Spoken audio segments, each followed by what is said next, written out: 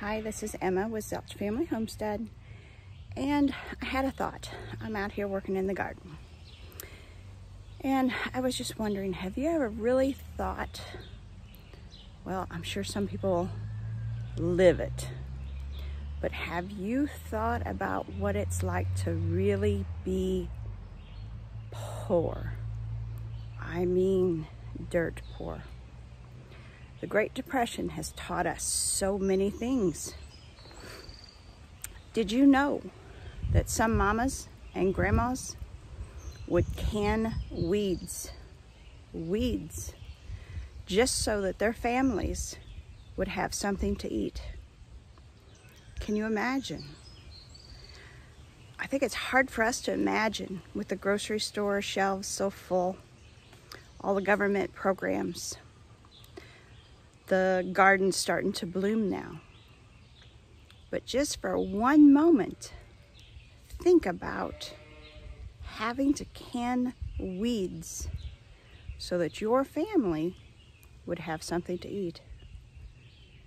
You know, what would you what would you can? What would you collect? I guess you would be doing anything and everything that would be green.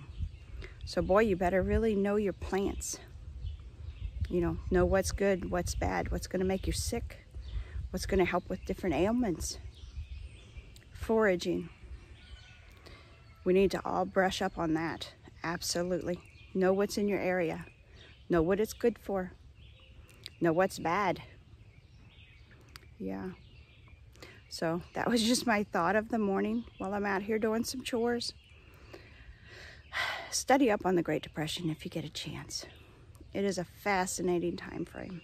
There is just so much information for us to learn that I'm afraid that we're losing a whole bunch of that as people grow older and pass away.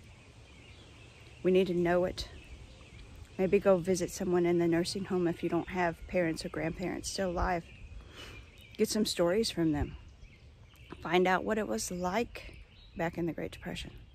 See how they lived their life.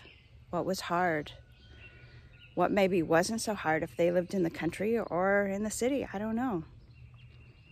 I only know about what I read, you know, or what was passed down. So that's all we can do.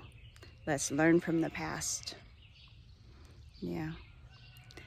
All right. God bless you. Have a wonderful day.